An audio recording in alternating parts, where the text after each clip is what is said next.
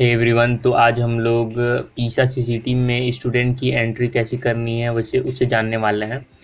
तो सबसे पहले आ, हम लोग इस वेबसाइट पर आएँगे पीसा सीसीटी टेस्ट वाले वेबसाइट पर जिसका लिंक डिस्क्रिप्शन में दिया हुआ है। तो यहाँ पर आने के बाद ये पहली वाली जो वेबसाइट है इसे ओपन करना है। इसमें किसी भी बच्चे की एंट्री हम कर सकते हैं जो कि न्यू हमें एंट्री करना है। आने के बाद आपको यहाँ पर यूज़र नेम और पासवर्ड का ऑप्शन मिलेगा। यहाँ पर आपको यूज़र नेम और पासवर्ड डालना जो कि आपका स्कूल का है और यहाँ पर मैं यहाँ पर इसे डालता हूँ। आपको अपना डालना है। उसके बाद पासवर्ड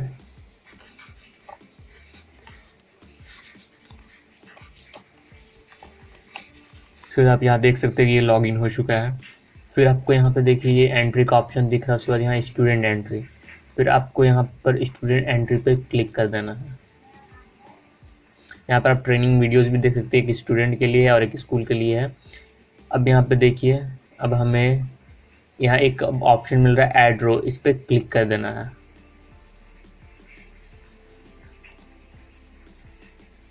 अब देखिए, यहाँ पर आप उस नए स्टूडेंट के नाम को एंटर करेंगे, उसके मोबाइल नंबर के नंबर को फादर नेम कौन सा क्लास में पढ़ता है section gender birth of date और शिफ्ट शिफ्ट में हमेशा आपका वन होगा, उसके बाद आपको यहाँ पर सेव में क्लिक कर देना। मैं यहाँ पे आपको नहीं बता रहा हूँ, करके नहीं दिखा रहा हूँ क्योंकि इसे नहीं करना है अभी।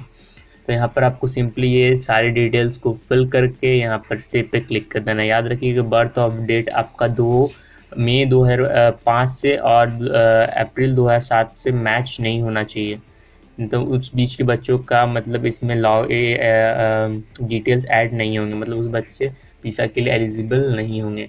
उसके बाद यहाँ पर एंट्री करने के बाद ये जब सेव हो जाएगा, उसके बाद आप यहाँ पर आपको सिंपली आना है स्टूडेंट एंट्री में, फिर आपको एक्टिवेट लॉगिन में जाना होगा यहाँ पर, ये लॉगिन फॉर स्टूडेंट फिर जैसे आप उस पर क्लिक करते हैं, यहाँ पर वो आपको मैसेज शो कर देगा, ये देखिए click to activate new student यहाँ पर क्लिक करते ही आपका स्टूडेंट एक्टिवेट हो जाएगा, तब उससे यूज़र नेम और एक पासवर्ड मिलेगा। यूज़र नेम और पासवर्ड बिल्कुल सेम ही होता है, जब लॉगिन करने के टाइम बहुत सारे बच्चे उसे चेंज कर देते हैं तो उसमें कोई दिक्कत नहीं है।